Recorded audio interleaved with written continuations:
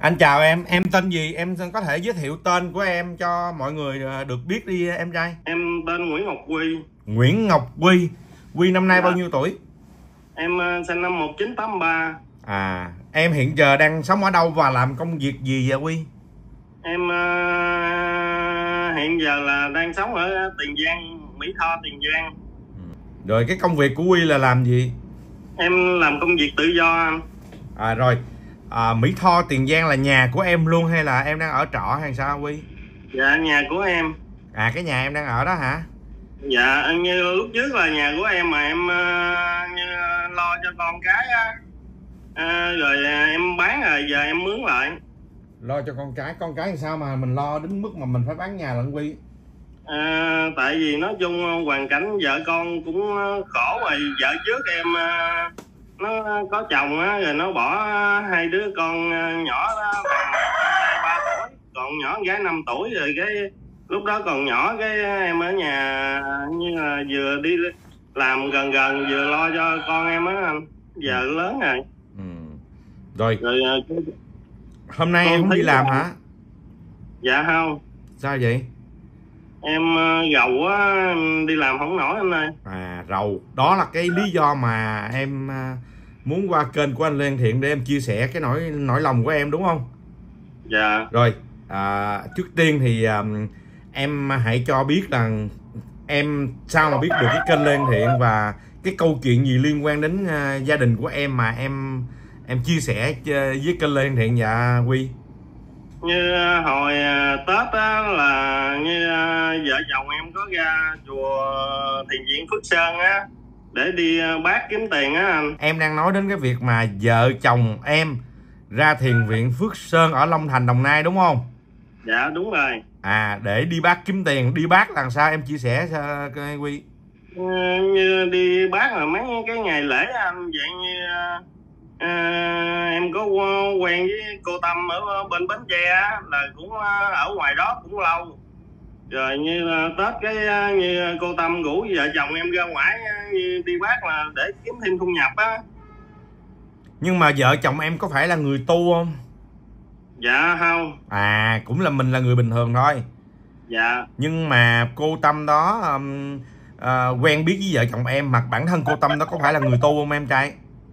Dạ cô tâm đó là người tu. À mà tại sao cổ người tu mà cổ lại um, đi nói với vợ chồng em không phải là người tu mà đi đi đi bác kiếm tiền? Là nó nó diễn ra như thế nào? À, đi rất là khất thực ở bên ngoài mà đứng ở ngoài đường rồi à, sáng trưa chiều rồi à, phải nhận tiền nhận bạc ở giữa đường giữa sáng như vậy đó thì nó không đúng cái luật phép của nhà Phật.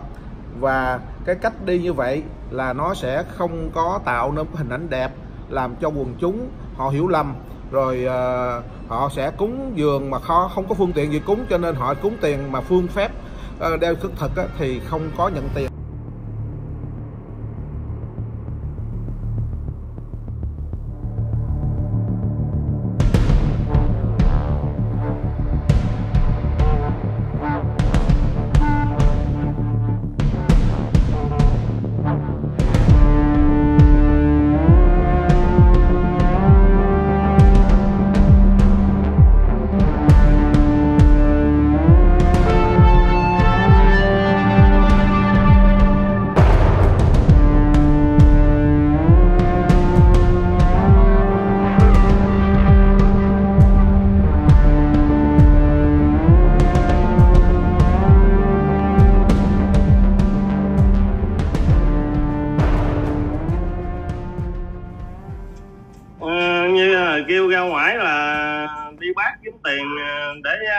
Thấy vợ chồng em khổ á rồi ờ, cô tâm dắt ra ngoài là nói ờ, mấy cái ngày lễ rồi mình đặt bát đồ ờ, cũng có tiền.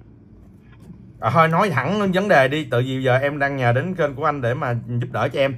Thẳng vấn đề ra là giống như là kêu em đi làm người mà mặc đồ áo tu đồ giả sư đúng không? Dạ đúng rồi. À rồi những cái y áo đó là ai phát cho em? Với vợ em? Dạ mua mua của cô tâm bán lại thôi bây giờ em chia sẻ sâu vô cái câu chuyện đó đi để mà mà mà anh nắm được. Thì cổ nói như thế nào và em đã biết được gì về cái cái vấn đề mà thường xuyên đi làm cái việc giả đó để mà mà mà mà kiếm tiền những cái dịp lễ tết?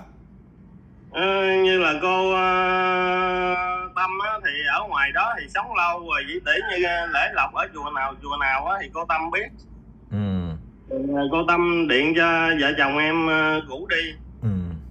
thì ngoài vợ chồng em ra thì theo em biết thì còn nhiều người khác giống như vợ chồng em đã từng được cô Tâm hoặc là những cô khác hướng dẫn đi kiếm tiền bằng cách đó không? Dạ nhiều lắm. Là nguyên cái khu bến tre đó ai cũng vậy hết. Như mấy cái người mà thiếu nợ đồ á là coi như cô Tâm dắt ra ngoài đó hết. Ngoài cái hiền viện Phước Sơn ra thì còn à, còn là, là những cái chùa nào nữa không em trai dạ không ở ngoài thiền viện Phước Sơn ừ. cái cách mình mình mà mình làm thì như thế nào khi mà mình cầm cái bát rồi mình mặc đồ tu vô rồi mình làm như thế nào À, như à, có lễ đặt bát á, thì à, mình bận đồ tu rồi à, mình ngồi mình đặt cái bát trên ghế á, rồi à, à, người ta đi người ta bỏ tiền vô á người ta cúng dường á. ừ. nhưng mà em làm được bao nhiêu lần vậy rồi? Vợ chồng em làm được bao nhiêu lần hay là đó là lần đầu tiên? Dạ hồi tết năm rồi á thì à, em đi được à, ba ngày bốn ngày. Còn à, năm nay á thì à, được à, 15 16 ngày. Có nghĩa là em được làm được hai mùa Tết rồi đúng không? Một cái Tết năm Dạ. 2023 và một cái Tết năm 2024 dạ đúng rồi. Thì cái lần đầu tiên của năm 2023 đó bắt đầu em tiếp cận vô cái nghề mà giống như giả sư này nọ đi đi đặt bát kiếm tiền như vậy á, thì à, em thấy bỡ ngỡ không? Và nó hòa nhập vô cái công việc mới đó như của em như thế nào? Ừ, lúc đó thì em bỡ ngỡ thì tại mình không biết thì à, như là tại vì cô Tâm có rất nhiều người à, bên Bến Tre ra ngoài đó. Rồi cái, cái, cái cũng nói chuyện đồ quen thì thí dụ như người ta đặt bát ngồi à, đặt bát mình cũng ngồi mình đặt bát luôn em kể tiếp đi. Rồi bắt đầu em ra ngoài thì mặc cái bộ đồ tu vô thì em thấy nó lạ lẫm không? Hay là nó cũng đã thường xuyên quen với em rồi? Dạ nó lạ lắm. Tại từ hồi nào giờ em chỉ đi làm mướn à chứ em không có làm mấy chuyện đó. Ừ. rồi vợ em cũng làm giống em không? Dạ vợ em thì à, cũng à, cạo đầu đồ à, ra đợt tết này là bữa mùng 1 là không không có cạo rồi cô tâm cô nói thôi cạo đi để dễ kiếm tiền hơn dạ ờ. là cái nghĩa là năm 2023 là vợ em có làm chung với em không? Cái tết đầu tiên á. Dạ có. Thì hai vợ chồng đợt đó kiếm được bao nhiêu tiền? À, như là tiền đồ là của em với thằng con trai em cũng có đi nữa là hai người ba triệu rưỡi. Mà em đi được ba bốn ngày vậy á thì trả đủ tiền đồ. Đủ tiền Rồi, đồ à, hả? dạ rồi xong rồi cái ờ, như là sát bên đi qua bên ờ, chùa Di Lạc á. Ờ là sát bên lúc đó là em có xe mà đi á thì ờ, cô Tâm không cho đi xe là phải như bao chiếc xe ờ, du lịch vậy á. Ờ là đi qua đi lại là 200 ngàn một ngày mà trong khi đó đi được có một ngày vài chục trăm ngàn lỗ tiền rồi em mới về.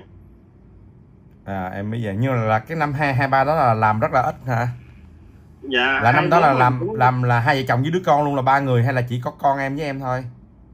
Ờ, vợ em với ờ, hai vợ chồng em với đứa con em. Là ba bộ đồ với lại cái bát luôn là cô tâm lấy tổng cộng của vợ chồng em với đứa con là bao nhiêu tiền?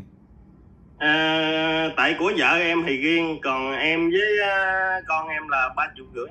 Có nghĩa là chắc vợ em là trước đó cũng làm thường xuyên rồi trước vợ trước cha con em hay là cũng làm cùng thời điểm với em? cũng một lượt chung một lượt hả em trai? Dạ. Rồi mấy cái ngày đó mình đi làm thì mình ở đâu? Tự vì mình từ bến tre mình lên đến đồng nai lần mà mình ở lại mình làm thì mình ở đâu? Dạ ở trong ờ, thiền viện phước sơn. À là mình thuê cái cốc á hả? Ờ, cái đó là cô tâm nói lên lo hết như chỗ ăn chỗ ngủ nhưng mà rốt cuộc là ở ở dạng ăn bờ ngủ bụi vậy anh. Ờ mà trong khuôn viên của thiền viện phước sơn luôn dạ. Rồi tất cả những cái người mà ở bến tre hoặc là sư ừ, giả sư khác cũng là ở chung với mình không? Dạ ở với chung. Thì cũng ờ, ăn bờ ngủ bụi như dạng ở hàng ba của mấy ông sư kia với cô tâm có quen ờ, ờ, ông ông ông sư gì ờ, em quên tên rồi nhưng mà ổng bệnh ổng về quê rồi. À. Là cô tâm này là hai chồng em biết lâu chưa hay là mới biết đây nè mà để mà cổ giới thiệu thôi dạ lâu lắm rồi à, tại vì lúc trước là à, vợ em có muốn à, nhà trọ ở bên à, bến tre để buôn bán gà vịt đó anh. À rồi sao nữa em? Rồi à, mới quen rồi à, cô tâm cô thấy bán buôn ế ẩm đó rồi cô tâm mới ngủ đi nói nếu mà đi vậy thì tiền nhiều. À, một mùa vậy được à, vài chục nhưng mà à, không có anh ơi. Vài chục triệu á hả em dạ, rồi theo như mà- em biết thì cô tâm tu thì ờ, em em kể cho anh và mọi người biết là cái cô tâm này cổ tu hành như thế nào và xuất gia sao. Em có biết không? À, như cô Tâm này thì à, như là tu nói tu mà cũng không có tu chủ yếu là như là mà xin cái cốc á, ở ngoài đó rồi thí dụ như một tuần hoặc hai tuần thứ bảy chủ nhật á, rồi đi ra ngoài rồi đi bát với sẵn à, có mặt để à, giữ cái cốc á, có cái cốc á anh. rồi à, Quy có thể nói thêm về cái việc mà những cái cốc anh thấy ở ngoài đến cả ngàn cái cốc lận á mỗi cái khoảng Dạ. chừng một mét vuông hai mét vuông gì thôi thì à, em em là người trong cuộc thì em có thể cho mọi người biết được là cái cốc đó là nó là như thế nào trong cái thiền viện Phước Sơn đó cái, cái cốc đó là để cho mấy cái người như dạng mình đăng ký hay mấy cái ở lại á với mấy người tu á. Ừ. nhưng mà tại sao mấy thầy ở ngoài biết là như em rồi là không phải là người tu mà mấy thầy biết không? Ờ, không biết anh tại vì à, lên mình à, à, xin trên văn phòng là mình à, để giấy căn cước lại là xin cấp cốc á. Là được hả? Dạ ờ, như cấp cái cốc mình ở rồi xong rồi cái chỉ tỷ như tới giờ cái mình à, lên tính điện mình đi bát cơm thôi